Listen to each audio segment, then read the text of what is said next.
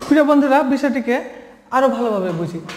Corporate culture বা এই যে ইন্টারন্যাশনাল কালচার ইংরেজির যে কালচার রয়েছে, সেটা কিন্তু একটা সেন্টেন্স দিয়ে তোমাদেরকে বোঝাচ্ছি। যেমন ধরো, তুমি আমার প্রতিষ্ঠানে নাসিস ক্লাবে সর্বপ্রথম আমার সাথে সাক্ষাৎ করতে এসেছ।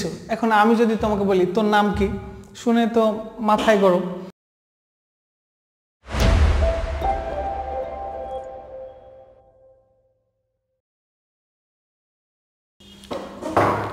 Assalamu alaikum, dear brothers and sisters. Hope you've been fine by the grace and mercy of Almighty Allah. Welcome to Nasir's Club. This is Nasir once again before you and who will discuss today. It's all about bro. What is bro? What do you mean by bro? And when we use this bro, B R O, bro. প্রিয় বন্ধুরা আজকে আমি একটি গুরুত্বপূর্ণ বিষয় আলোচনা করতে চলেছি, যেটা হচ্ছে ব্রো আমরা কথায় কথায় কাউকে ফোনে বলি hi bro hello bro so এই যে ব্রো এটা কি?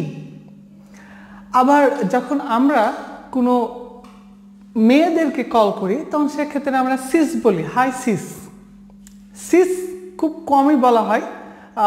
ম্যাক্সিমামই সবাই হ্যালো আপু বা আপা, কিছু একটা হোয়াট এভার ইট ইজ বলে থাকে। বাট সাধারণত কমনলি ব্রো শব্দটি ইউজ করা হয়। তো চলো আজকে এই ব্রো নিয়ে বিস্তারিত আলোচনা করি। এই ব্রো শব্দটি আমরা খুব সহজেই যাকে ইচ্ছা তাকে বলে থাকি। বাট তোমরা নিজেও জানো না, এটা একটা হচ্ছে slang language slang word bro কখনো ইউজ করা যাবে না। তোমার সমবয়সী থেকে সিনিয়রদেরকে রাইট তোমার সমবয়সী থেকে ওপরে সিনিয়র যারাই আছে না কেন কখনোই এটা হচ্ছে অসম্মান করা একটাই ওয়ার্ড যেটা বলে তোমরা কাউকে সম্বোধন করো। ব্রো বলা যাবে না ব্রাদার বলতে হবে। এখন তুমি যদি ফাদারকে ফা বলো সিস্টারকে সিস বলো, তাহলে খারাপ দেখায়। সো একটা কথা তোমরা মনে রেখো যে মানুষকে রেসপেক্ট করে, সম্মান দিয়ে কথা বলতে হবে। আর এই সম্মান দিয়ে কথা বলতে হলে আমাদেরকে হ্যালো ব্রাদার বা হ্যালো সিস্টার বা হ্যালো ফাদার বা হ্যালো ম্যাম অথবা হ্যালো স্যার এইভাবে আমরা সম্বোধন করব। বাট ব্রো কথায় কথায় কারোর সাথে না বুঝে সুঝে মেসেঞ্জারে হাই ব্রো হ্যালো ব্রো অনেক স্টুডেন্ট অনেক মানুষ, অনেক অজানা লোক যারা অনেক সময় আমাকে হোয়াটসঅ্যাপে এবং মেসেঞ্জারে বলে hi bro hello bro bro বলে সম্বোধন করে। বাট আজ থেকে from now on I would like to urge you not to use this bro এই ব্রো ইউজ না করার জন্য রিকোয়েস্ট করছি। কারণ এটা হচ্ছে একদম বাজে একটি ওয়ার্ড যেটা একেবারে বস্তির লোক যারা একমাত্র তারাই ইউজ করে, আমি মনে করি। কারণ এটাতে কোনো ফর্মালিটি নাই। ফর্মাল এটা কোনো ল্যাঙ্গুয়েজ না। এটা কোনো ভদ্র মানুষের ওয়ার্ড হতে পারে না। সো মানুষকে অবশ্যই ভদ্রভাবে সম্মান দিয়ে কল করতে হবে, সম্বোধন হতে হবে world class standard right so এই ব্রো শব্দটি বাদ দাও। এখন তোমাদেরকে এই সাথে আরেকটি বিষয় অ্যাড করতে চাচ্ছি, তাহলে তোমরা বুঝতে পারবে। ধরো, আমরা যে ল্যাঙ্গুয়েজ শিখি, তাই না? যেমন বাংলা ল্যাঙ্গুয়েজে আমরা কথা বলি সো বাংলা ল্যাঙ্গুয়েজে আমরা কথা বলি, বাংলার একটা নিজস্ব কালচার রয়েছে। তুমি চাপাই নবগঞ্জে বসবাস করো, চাপাই নবগঞ্জের নিজস্ব একটা কালচার রয়েছে। ঢাকায় বসবাস করলে ঢাকায় যে কালচারে তুমি বড় হয়েছো, সে একটা ল্যাঙ্গুয়েজ রয়েছে রাইট ঠিক, ইংরেজি ভাষা যখন শিখব, তখন ইংরেজির নিজস্ব যে একটি কালচার রয়েছে, সেটা তোমাকে জানতে হবে। আর এটা নিয়ে বিস্তারিত বাক্যা আমি সামনের বিভিন্ন ক্লাসগুলোতে আসব, সামনে নতুন ভিডিও বানাবো, তোমরা সেটা বুঝে যাবে। তবে আজকে একটু উদাহরণ দিয়ে তোমাদেরকে বলি। যেমন ধরো, আমি যখন কলকাতায় ছিলাম মানে বেশ কয়েকবার কলকাতায় ভিজিট করেছি, তো সেখানে দেখেছি যে ছোট ছোট এত বড় মেয়েরা একেবারে থ্রি ফোর ফাইভে পড়ে। তারা আমার সাথে প্রথম সাক্ষাতে বলে, তুমি কেমন আছো গো? বা, তুমি কেমন? মানে তুমি সম্বোধন করে। তো প্রথম দিকে আমার কাছে এমনটাই মনে হতো যে, আমি তার সিনিয়র আমি তার আঙ্কেলের মতো, বড় একজন ব্যক্তি। সো আমাকে কেন তুমি সম্বোধন করছে? প্রথমে খারাপ লাগতো। বাট যখন কিছুদিন থাকলাম, তখন বুঝে গেলাম যে এটা হচ্ছে সেইখানের কালচার এবার দেখো ওয়েস্ট বেঙ্গলের আমি একটি ডিস্ট্রিক্টে চলে যাই, যেমন মালদা একটা জেলা।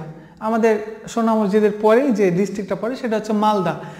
মালদাতে কিছু লোকের সাথে যখন সাক্ষাৎ হলো, তখন তারা এই যে আপন করে কথা বলার জন্য যে ফর্মটা ইউজ করে, সেটা হচ্ছে, দেখ দাদা, তুই কিন্তু বড্ড ভুল করছিস। এই যে, তুই করে কথা বলার যে এটার মধ্যে যে আলাদা কি মজা বা আলাদা যে কি আন্তরিকতা রয়েছে, সেটা কিন্তু সেখানে আমি বুঝলাম। এখন সেখানে যদি আমি মাইন্ড করি, বাংলাদেশের কালচার নিয়ে যদি আমি ওয়েস্ট বেঙ্গলে কোনো একটা ডিস্ট্রিক্টে গিয়ে যদি আমি আমারটা ধরে রাখি, তাহলে আমার কাছে মনে হবে যে সে কেন আমাকে তুই করছে? বাট ওরা ওভাবেই কথা বলে, দেখ তুই নাসির, তুই কিন্তু ভালো করছিস না কাজটা। তুই এ কাজটা কর, দেখ তোর ভালো হবে। সো এই যে তুই কে কথা বলা, এটা কিন্তু শুনতেই মজা লাগবে। আমি প্রথম যখন শুনি, তখন একটু খারাপ লেগেছিল। পরে যখন বুঝলাম যে এটা তাদের কালচার মানুষকে খুব আপন করে বলার, এটা হচ্ছে সিস্টেম আর যখন আমি ঠিক কলকাতার প্রাণকেন্দ্রে গেলাম, তখন দেখলাম ওখানে তুমি করে কথা বলছি, সবাই সবাই প্রায় প্রায় তুমি করে, ছোট, বড়, সবাই তুমি করে। সো এটাই হচ্ছে কালচার আমরা যখন ইংরেজি শিখব, সেখানেও কিন্তু কালচার রয়েছে। আরেকটু উদাহরণ দিই। ধরো চাপায়ের তোমার কিছু একটা কালচার রয়েছে। এখন তুমি যেমন ধরো যে তুমি ঢাকাতে যখন যাবে সো ঢাকাতে যদি তুমি চাপায়ের কালচার ইউজ করো, তাহলে খুব সহজে তোমাকে আইডেন্টিফাই করে ফেলবে যে তুমি চাপাই নগঞ্জ থেকে এসেছ। তুমি ঢাকার লোকাল ম্যান না। সেক্ষেত্রে তুমি অনেক সমস্যার সম্মুখীন হবে। বিভিন্ন জায়গায় কোনো পোশাক আশাক কিনতে গেলে ওইখানে তুমি ধরা খাবে যে কোনো জায়গাতে। বাসে যখন ভাড়া দিতে যাবে, সেখানেও তুমি ধরা খাবে, বেশি ভাড়া নিয়ে নিবে। কীভাবে? যেমন ধরো, ঢাকাতে আমরা যখন একটা রিক্স, রিক্সা নিই, তখন বলি, এই মামা, জিগাতলা যাইবি? আমরা এই যে যাইবি, খাইবি, এই স্ল্যাং ল্যাঙ্গুয়েজগুলো ইউজ করি। বা খাইছে, গেছে হোসে খাবা ধাবা, টাবা নিবা করবা, এই যে বা বা বা, এই শব্দগুলো কিন্তু ঢাকার মানে বলা যায় যে লোকাল ল্যাঙ্গুয়েজ যদি বা লোকাল ল্যাঙ্গুয়েজ কিন্তু আলাদা রয়েছে, পুরান ঢাকার ল্যাঙ্গুয়েজ আলাদাই আছে। বাট এই যে এই শব্দগুলো খাবার ঢাবা, চলবা ম্যাক্সিমাম তারা ইউজ করে। বা এই যে যে কোনো একটা অপরিচিত লোকের ক্ষেত্রে আমরা বলি, মামা, কই যাবেন? বা, মামা, তুমি যাইবা? এখন আমরা যদি চাঁপাইনবাবগঞ্জের কালচারটা ওখানে প্রয়োগ করে জিজ্ঞেস করি, ভাই তুমি কি ফার্ম গেট যাবে? বা তুমি কি ফার্ম গেট যাইবা? যা হোক, তো এইভাবে যদি কথা বলি, তাহলে সেক্ষেত্রে সে বুঝবে যে হ্যাঁ তার একটা ফর্মাল ল্যাঙ্গুয়েজ রয়েছে। সে ভাষায় কথা বলেছে, অথবা সে বুঝবে যে যদিও বা তোমার টান টুন যদি একটু হেরফের হয়, তাহলে সেখানেও একটা সমস্যা রয়েছে। তারা বুঝবে যে তুমি একেবারে ঢাকাতে নিউ ঠিক তেমনটি ঢাকা শহরের কোনো লোক যদি চাঁপাইনবাবগঞ্জে এসে যে কোনো রিক্সাওয়ালাকে বলে আয় মামা এক্সিম ইউনিভার্সিটি যাবা? বা কেউ যদি বলে যে যেমন, এছাড়াও ধরো যে কেউ ডাব বিক্রি করছে। এখন ডাব বিক্রেতাকে তুমি যদি বলো, এই মামা, ডাব কত করে দিছো? এইভাবে যদি কথা বলো, তাহলে খুব সহজে সে বুঝে যাবে যে এই লোকটা এই এলাকার না, লোকাল না। সে হয়তো ঢাকা বা অন্য একটা ডিস্ট্রিক্টের কারণ আমরা কমনলি মানুষকে যেখানে ভাই বলে সম্বোধন করি, সেখানে তুমি মামা বলছো। সো মামা কিন্তু আসলে সম্পর্কের মামা না জাস্ট মামা বলার ক্ষেত্রে আমরা বলে রাখি। সো ঢাকার লোক যখন চাপায় আসবে, তখন চাপায়ের কালচার অনুযায়ী কথা বলতে হবে, এটা হচ্ছে সিস্টেম তাহলে চাপায়ের লোক বুঝবে না যে সে ঢাকা থেকে এসেছে। এবং এভাবে কিন্তু মিশার সুযোগ হয়ে যায়, মিশার জন্য অপরচুনিটিগুলো বাড়ে এবং খুব সহজে কাছাকাছি হওয়া যায়। ঠিক তেমনটি ঢাকাতে যখন আমরা যাব, তখন আমরা বলব না যে, আমি তোকে অনেকক্ষণ ধরে খুঁজছি ঢুঁড়ছি এই শব্দগুলো কিন্তু ঢাকাতে কেউ বুঝবে না। আরেকটু উদাহরণ দেখি। তুমি খালি খালি বিরক্ত করছ। তুমি খালি খালি নাসিস ক্লাবের চ্যানেলে গিয়ে ভিডিও দেখছ। এই যে খালি খালি খালি খালি বলতে আসলে শুধু শুধু, চাপের ল্যাঙ্গুয়েজে এর অর্থ হচ্ছে শুধু শুধু। বাট খালি খালি শব্দটি যদি তুমি ঢাকা ইউজ করো, কেউ বুঝবে না তোমার এই কথাটি। সো আমাদের কিন্তু কালচার জানতে হবে। সো কালচারের উপরে পড়াশোনা রয়েছে। কালচারের উপরে পড়তে হবে। সো ইংরেজির কিন্তু নিজস্ব একটি কালচার রয়েছে। খুব সহজে আমি তোমাকে বলতে পারি না, তোর নাম কি, আপনার নাম কি?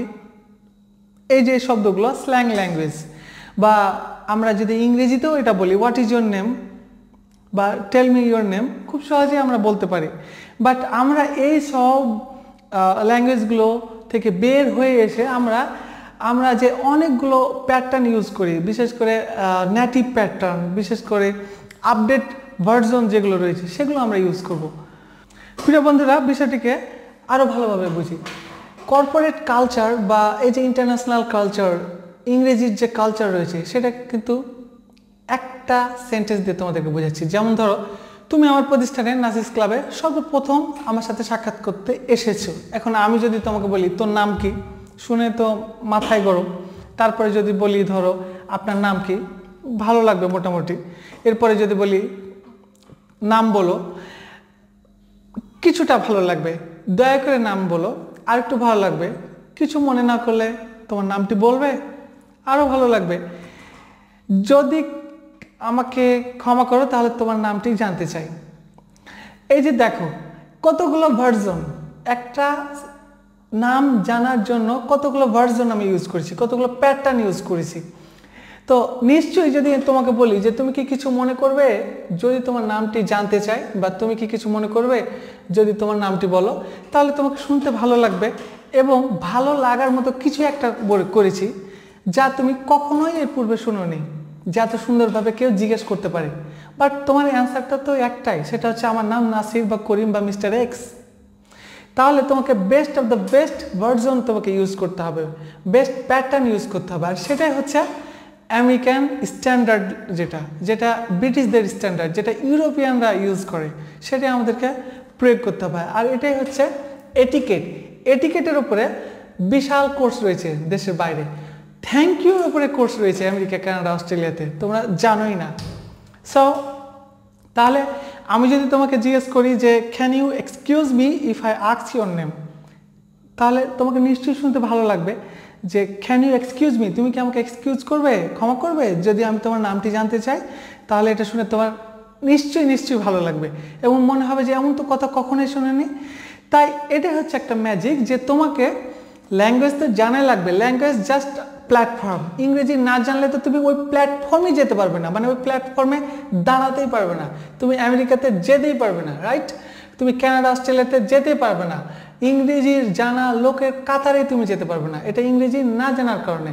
আর তুমি যদি স্কিল ডেভেলপ না করো যে কীভাবে অ্যাপ্রোচ করতে হয়, কীভাবে নেগোসিয়েশন করতে হয়, কীভাবে লিডারশিপ মেথডটা তোমার মধ্যে রাখতে হয়, কীভাবে লিডিং কন্ট্রোলিং ম্যানেজমেন্ট যতগুলো বিষয় রয়েছে, এই স্কিলগুলো যদি না জানো, তাহলে তুমি আলটিমেটলি কোনো জায়গাতে নিজেকে টিকে রাখতে পারবে না। বেস্ট অফ দ্য বেস্ট হতে পারবে না। তোমাকে মনে রাখার মতো কিছু থাকবে না। তাই তোমাকে আউট অফ দ্য বক্সের বাইরে এসে আনকমন হতে হবে এবং ইন্টারন্যাশনাল স্ট্যান্ডার্ড কালচার তোমাকে শিখতে হবে। প্রিয় বন্ধু, বান্ধবী এবং শিক্ষার্থীরা, নিশ্চয়ই তোমাদেরকে বোঝাতে সক্ষম হয়েছি যে আমরা কখনো স্ল্যাং ল্যাঙ্গুয়েজ ইউজ করব না না জেনে, অযথা, ঠিক আছে? আমরা সবসময় ভালো ল্যাঙ্গুয়েজ ইউজ করব। কারণ তোমাকে মনে রাখতে হবে যে তুমি এমন কিছু একটা ক্রিয়েট করবে কারও মনে যাতে সে সারা জীবন তোমাকে মনে রাখে। এমন কোনো একটা পথ দেখাবে যেন সারা জীবন তোমাকে মনে রাখে। এমন ভালো কথা বলবে যেন তোমাকে সারা জীবন স্মরণ করে। তাই আমাদেরকে স্ল্যাং ল্যাঙ্গুয়েজ থেকে বেরিয়ে এসে ওই সব শব্দগুলো পরিহার করে স্ট্যান্ডার্ড স্ট্যান্ডার্ড ভালো ল্যাঙ্গুয়েজগুলো প্রয়োগ করতে হবে। প্রিয় শিক্ষার্থীরা, ভালো থাকবে, সুস্থ থাকবে। আজকের এই ভিডিওটি এখানে শেষ করতে হচ্ছে। নেক্সট ভিডিওতে নেক্সট কোনো টপিক নিয়ে তোমাদের সাথে হাজির হব। আসসালামু আলাইকুম।